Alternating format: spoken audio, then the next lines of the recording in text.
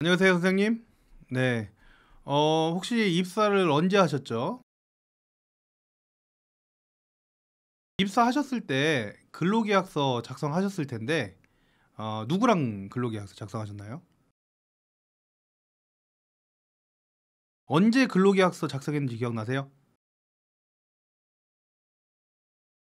근로계약서 작성하시면 근로계약서에 그 내용들이 있잖아요. 혹시 어떤 내용들이 있었는지 기억나시나요? 혹시 그 근로계약서 작성하신 이후에 어, 그 근로계약서를 따로 받으셨어요? 네. 선생님 월급날이 언제예요? 제 날짜, 제 날짜에 월급 들어오나요? 월급 내용에 어떤 내용들이 있을까요? 얼마인지는 말씀하시지 않으셔도 됩니다. 어떤 방식으로 명세서를 받으세요? 선생님 혹시 그 처음에 입사하셨을 때 어, 어르신 상태에 대한 어, 내용을 혹시 들으셨나요? 처음에 들어오셨을 때 어, 교육을 받고 어떤 일을 시작하셨나요? 어떤 교육을 들으셨어요?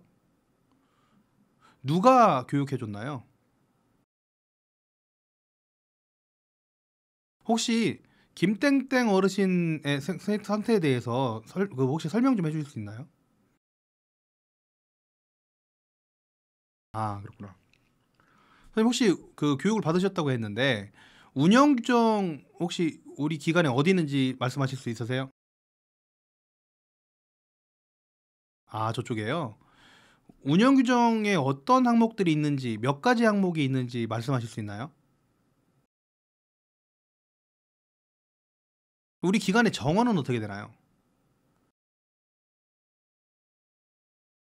혹시 선생님 신원 인수, 인수인이 뭔지 아세요?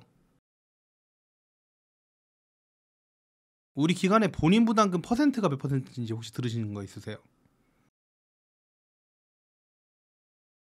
혹시 운영 규정 교육은 언제 교육 받으신 것 같아요?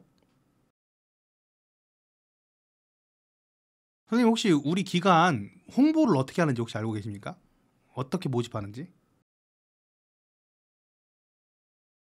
선생님들이 어르신한테 어, 실수를 했을 때 어, 어르신한테 갑자기 다쳤다고 칠게요. 어, 그런 경우에 배상 책임이라든지 이런 부분에 대해서 설명드리신 거 있으세요? 설명해 줄 수 있으세요?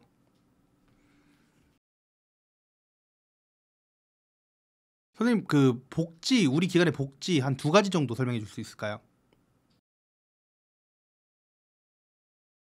선생님 지금 고충 처리에 대해서 설명해 줄 수 있을까요?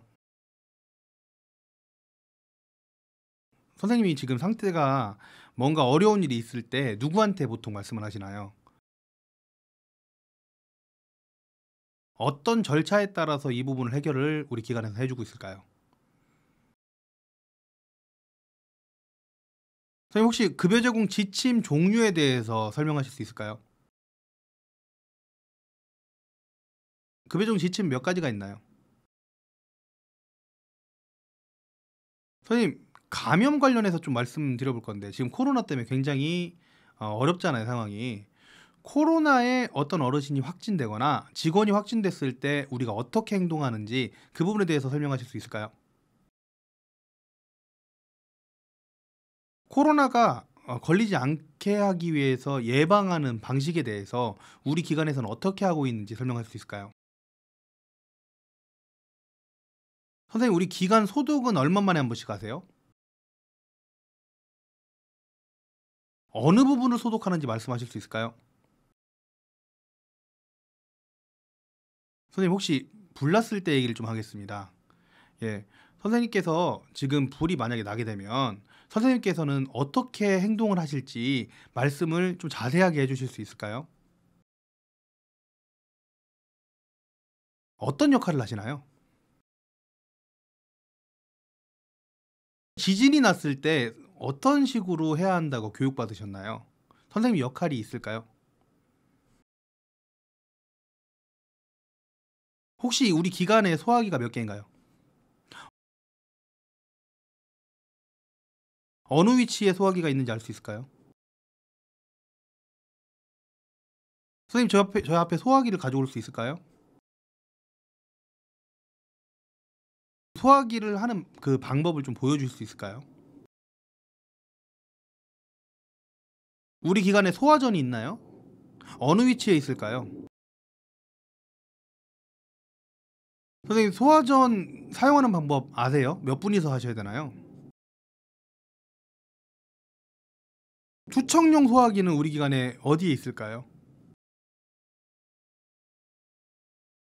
선생님 지금 그 비상시에 어떤 식으로 대피해야 하는지 그런 부분들을 설명하는 어떤 자료나 종이를 보신 적이 있으세요? 어디에 붙어 있을까요? 아 기억이 잘 안 나시면 피난 안내도는 어디에 있을까요? 어르신이 과도한 요구를 하면 어떻게 행동해야 할까요? 어르신이 성희롱을 한다면 그때는 어떻게 대응해야 할까요? 어르신 보호자가 폭언을 하거나 어, 이 성적인 희롱을 하시면 어떻게 해야 될까요? 직원들끼리 이 성희롱 상황이 생긴다. 그러면 어떻게 대응해야 할까요? 선생님 혹시 그 어르신이 갑자기 쓰러지셨어요. 넘어지셨어요. 그때 어떻게 대응해야 될까요?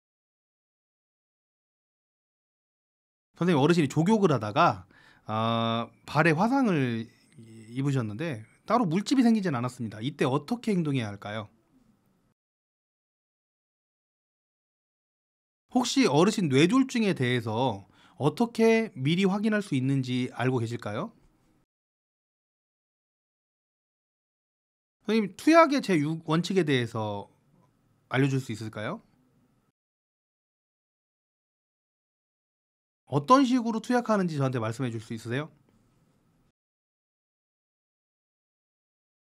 어르신이 갑자기 넘어지셔서 숨을 쉬지 않는다고 가정하면 그때는 어떻게 행동해야 될까요?